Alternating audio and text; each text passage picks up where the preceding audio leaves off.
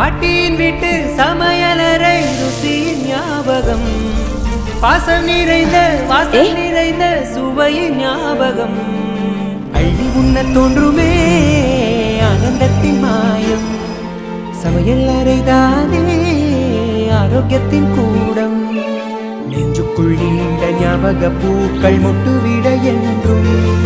நண்டவல் hours உழுந்துதான் ஞாபகங்கள் கூட்டும்